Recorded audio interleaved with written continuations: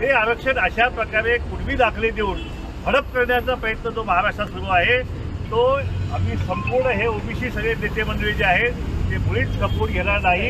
ही योग्य भूमिका आहे की असे न्यायमूर्ती जाऊन जर असं जर आम्ही तुम्हाला आरक्षण देतो आरक्षण देतो हा मार्ग आहे तो मार्ग आहे असं जर सांगत बसलं तर ओबीसीचं काय होणार या महाराष्ट्रामध्ये?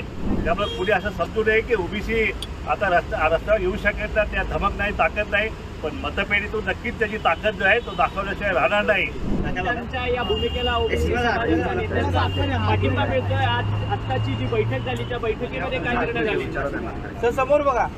आज आम्ही छगन भुजबळ साहेबांची सगळ्या ओबीसी नेत्यांनी आज भेट घेतलेली आहे. या बैठकीमध्ये जे काही मराठा समाजाला सरसकट कुणबी समाजाचे दाखले देऊन बॅकडोर एंट्री करून ओबीसी मध्ये घुसवण्याचा जो प्रयत्न सुरू आहे. त्याचा निषेध करण्यासाठी त्याला विरोध करण्यासाठी आज सगळ्या ओबीसी नेत्यांनी आज भुजबळ साहेबांची भेट घेतली. आणि भुजबळ साहेबांची बैठक होऊन त्या बैठकीमध्ये भुजबळ साहेबांनी जी भूमिका काल मांडलेली आहे की सरसकट मराठा समाजानं कुणबी समाज दाखले देऊन ओबीसीमध्ये घेऊ नये. आणि त्याच्यामुळे ओबीसी समाजावरती फार मोठा अन्याय होणार आहे. पावणे चारशे गरीब जमाती आहेत. गावागावामध्ये खेड्या खेड्या खेड्या तेजी तेली साळी माळी कोशी कुंभा धनगर वडा भटके मुक्त बारा बोटेदार ही सगळी मंडळी जी आहे या मंडळींचं जे त्यांच्या मुळाबाळांचं लेकरांचं आरक्षण जे आहे ते आरक्षण अशा प्रकारे कुणबी दाखले देऊन हडप करण्याचा प्रयत्न जो महाराष्ट्रात सुरू आहे. तो आम्ही संपूर्ण हे ओबीसी सगळे नेते मंडळी जे आहेत ते मुळीच खपवून घेणार नाही.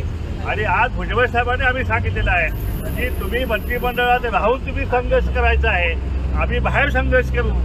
कोणत्याही प्रकारे राजीनामा वगैरे देऊन बाहेर पडायचं नाही ही विनंती आम्ही भुजबळ साहेबांना केलेली आहे. आणि आता हा जो संघर्ष जो आहे हा आमचा आमच्या हक्काचं आरक्षण जे आहे त्या आरक्षणाचं संरक्षण करण्यासाठी सगळे महाराष्ट्रातले ओबीसी भटकेमुक्त जे आहे ते आता या ठिकाणी इथून पुढे रस्त्यावरची लढाई आम्ही सुरू करत आहोत. आम्ही दिवाळी संपायची वाट पाहत आहोत.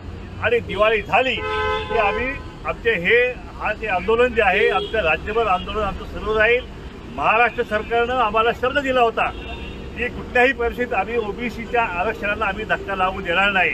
सुरुवातीला सांगितलं की आम्ही फक्त निजामाच्या नोंदी आम्ही घेऊ. त्या काय पाच जण निघाल्या अकरा जण निघाल्या आम्ही मान्य केलं.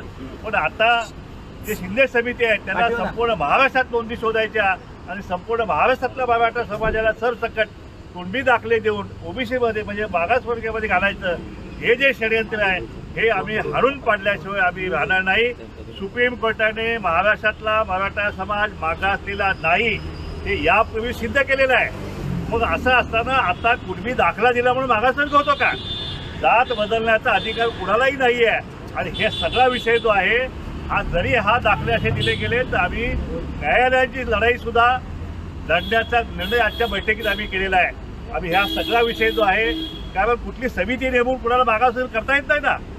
एखाद्याला मागासवर्ग करायचं असेल तर डेफिनेट प्रक्रिया त्याला. राज्य मागासवर्ग आयोग आहे. ते काय शिंदे समिती नेमायची ज्या काही समित्या नेमल्या जे काय आयोग नेमले सगळे मराठा समाजाचे सगळे नेमले. आज तीन तीन तुम्ही ब- भोसले. रिटायर्ड हायकोर्ट जज भोसले. तेही मराठा आहेत. शिंदे मराठा गायकवाड मराठा सगळे मराठा तुम्ही नेऊन त्यांच्याकडून अहवाल घ्यायचा. आणि ओबीसीने काय करायचं बघ?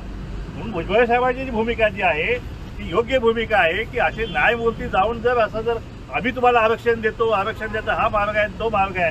असं जर सांगत बसलं तर ओबीसीचं काय होणार या महाराष्ट्रामध्ये? म्हणून आम्ही आवाहन करत आहे आम्ही आपल्या माझं सगळ्या ओबीसीला आता सगळ्यांनी रस्त्यावर आल्याशिवाय आपल्या मुळाबाळांचं आपलं हे जे आरक्षण जे आहे ते हिसकावून घेतल्याशिवाय हे राहणार नाही. ती प्रस्तावित मंडळी आहेत सत्ताधारी आहेत आमदार यांचे आहेत खासदार यांचे आहेत मंत्री यांचे आहेत मुख्यमंत्री यांचे आहेत पंतप्रधान अगदी केंद्राचं सरकार यांचं आहे. त्यामुळं आमच्या हक्काचं संरक्षण जे आहे ते करायचं असेल तर आम्हाला रस्त्यावर यावंच लागेल.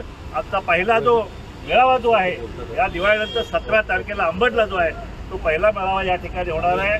त्यानंतर सव्वीस नोव्हेंबरला दुसरा मेळावा जो आहे तो संपूर्ण मराठवाड्यातला आठी जिल्ह्यातून जे आहे ओबीसी बांधव जे आहेत ते लाखांच्या संख्येने हिंगोली या ठिकाणी सव्वीस नोव्हेंबर येणार आहेत.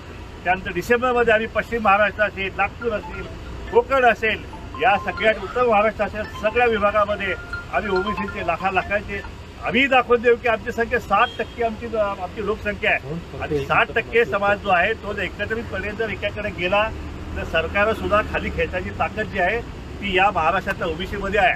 त्यामुळे कुणी असं समजू नये की ओबीसी आता रस्ता रस्त्यावर येऊ शकत नाही त्या धमक नाही ताकद नाही पण मतपेढीतून नक्कीच त्याची ताकद जो आहे तो दाखवल्याशिवाय राहणार नाही. आणि म्हणून आमचे आम्ही इशारा देतो सरकारला की ओबीसीच्या आरक्षणाला धक्का लावायचा प्रयत्न जर आपण केला त्याच्यावर अन्याय करायचा प्रयत्न केला तर हा ओबीसी जो आहे तो शांत बसणार नाही. अशा प्रकारचा विषय जो आहे आज आम्ही आजच्या बैठकीत केलेला आहे.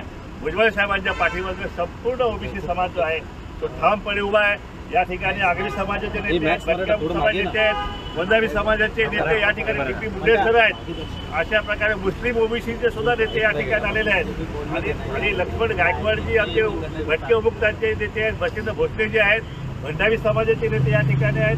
सगळ्या नेत्यांनी आम्ही निर्धार केलेला आहे की मरणाची लढाई लढायची पाळी चालेल पण कुठल्याही परिस्थितीत ह्या आमच्या गरीब ओबीसी ओबीसी समाजाचं जे आहे हे आरक्षणाला आम्ही संरक्षण केल्याशिवाय आम्ही स्वस्थ बसणार नाही. कुठलाही दबाव तंत्राला सरकारचं बळी पडत असेल, तर त्या सरकारचा सुद्धा आम्ही निषेध केल्याशिवाय आम्ही राहणार नाही. और एक बात है कि जो ओबीसी के हित की बात करेगा, वही इस राज्य में राज्य करेगा. मी आपल्या मार्फत मैं पूरे देश के ओबीसी के नेताओं को मैं आह्वान करता हूँ कि महाराष्ट्र का ओबीसी का आरक्षण, महाराष्ट्र का ओबीसी खतरे में है. हमें आपकी मदद की ज़रूरत है. आप हमें सहायता कीजिए. आप भी हमारे सहायता के लिए आपको यहाँ आना पड़ेगा महाराष्ट्र में. हिंगोलीच्या कार्यक्रमामध्ये आम्ही तेजस्वी यादवला सुद्धा सुद्धा आम्ही बोलवणार आहोत. वर राज्यातले ओबीसी नेते सुद्धा आम्ही बोलणार आहोत. सिद्धरामय्या यांना आम्ही बोलणार आहोत. सगळे ओबीसी नेते सगळ्या पक्षाचे नेते जे आहेत त्या सगळ्या नेत्यांचे पक्षाचे जोडे बाहेर काढून ओबीसींच्या हितासाठी आम्ही सगळे या ठिकाणी एका व्यासपीठावर इथे पूर्ण महाराष्ट्रामध्ये दिसेल. आणि ओबीसीच्या हक्काची लढाई जी आहे ती या महाराष्ट्रामध्ये जी आहे ते आम्ही सुरू केल्याचं आम्ही स्वस्त बसणार नाही.